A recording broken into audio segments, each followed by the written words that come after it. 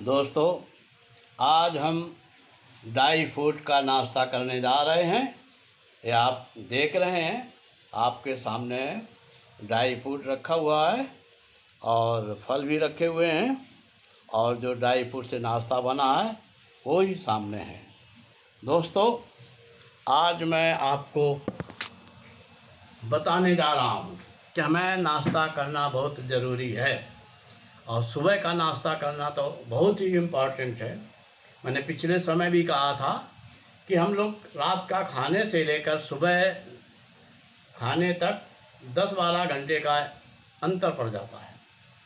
तो हमारे शरीर में जो है एनर्जी कम हो जाती है। और एनर्जी को बनाए रखने के लिए हमें सुबह का नाश्ता करना बहुत ज़रूरी है। और जो लोग सुबह का नाश्ता नहीं करते, वो बहुत नुकसान कर रहे हैं, इसलिए उनको सुबह का नाश्ता करना शुरू कर देना चाहिए।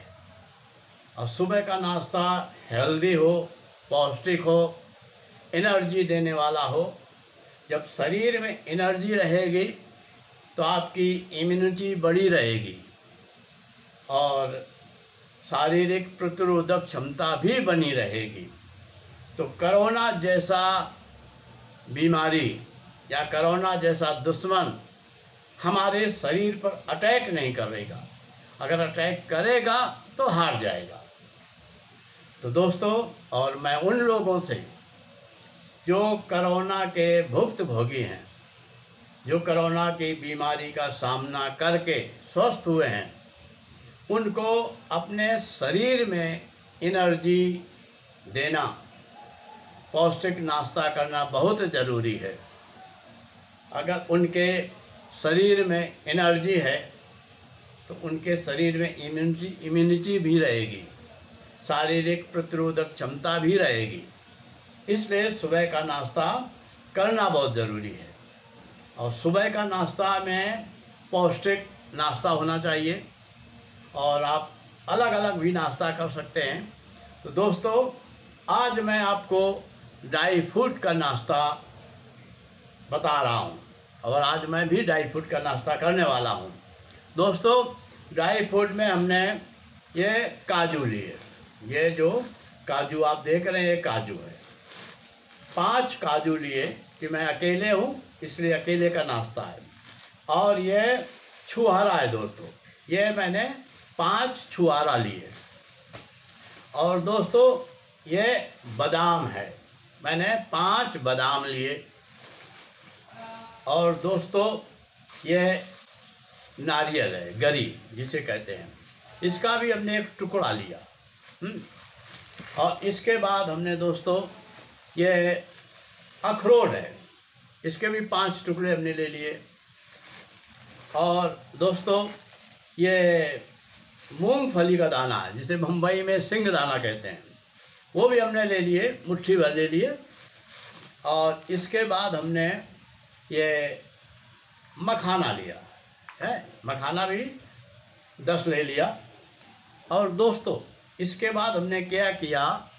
शाम को इन सब चीज़ों को पानी में तीन बार धोया। और तीन बार धोने के बाद शाम को हमने भिगो दिया। सुबह उठ करके हमने ये जो ड्राई फ्रूट जिसका हमने नाम लिया है, हमने बॉईल किया। और जब इनका पानी सूख गया, तब हमने आधा लीटर दूध डाल दिया। और दूध भी बॉईल हो गया। अब जब ये दूध बॉईल हो गया, सब चीज़ बॉईल हो गया तो बॉईल होने के बाद गरम है जब हमने दस मखाना डाल दिए। और एक केला डाल दिया। दो केला भी डाल सकते हैं। इसके बाद ये आपका जो ड्राई फ्रूट है, जो आप देख रहे हैं, ये बन कर के तैयार हो गया। अब इसको आप आराम से खाइए, है ना? और जब ये ड्राई फ्रूट खा लेंगे तो आराम से जो इसका दूध बचा हुआ है, वो दूध पी लीजिए। और इसके बाद दोस्तों, किशमिश भी खाइए। डेली जो है, कम से कम दस बीस दाने किशमिश के खाने ज़रूरी हैं। ये ड्राई फ्रूट भी है और इसकी सबसे बड़ी विशेषता है कि ये शरीर को ऑक्सीजन देती है। लेकिन सबके साथ अगर डालेंगे तो दूध जो है ना, फट जाएगा। इसलिए किशमिश को आप अलग से खाइए।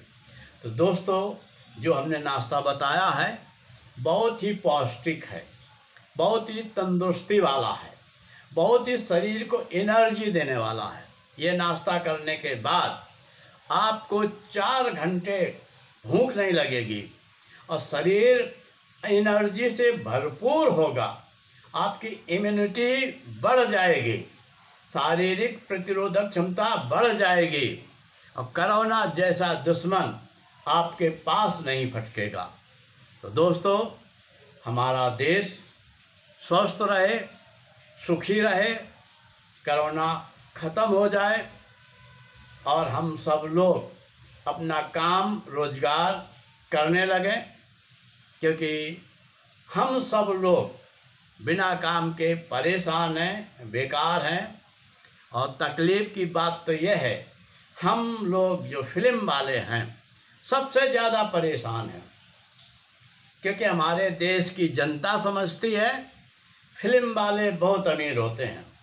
हमारी सरकार भी समझती है, फ़िल्म वाले बहुत अमीर होते हैं।